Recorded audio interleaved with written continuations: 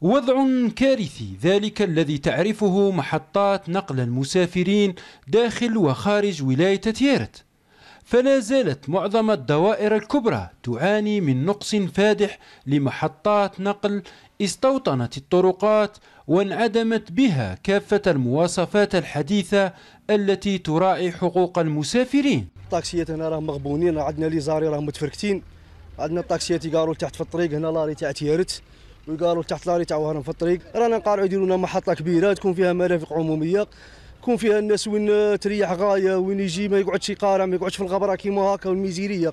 راك تشوف الطريق كي راها دايرة. خاصنا محطة تليق بالمواطن والطاكسيات إن شاء الله بربي. هي شبه محطات اليوم تنتشر عبر المدن الكبرى بتيارت وتحتل الطرقات الأرصفة والحظائر لترسم معاناة المواطن. تبان لي أنا كمواطن هذا غير parking تاع ستاد راه الملعب هذا parking ماهوش محطه ولا شوف شو كي داير الوسمه الأرضية شوف ما كاش مرافق ما كاش كان والو تسمى. parking وخلاص.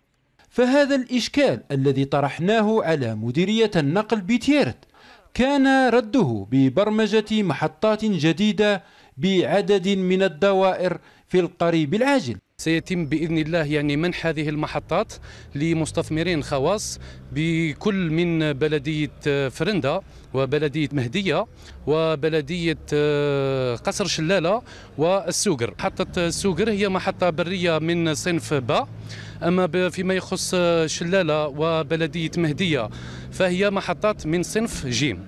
وإلى حين تجسيد هذه المحطات البرية يبقى المسافر بتيارت يكابد معاناة يومية في ظل انعدام محطات نقل تواكب العصر وتصب في خدمة المسافر والناقل على حد سواء.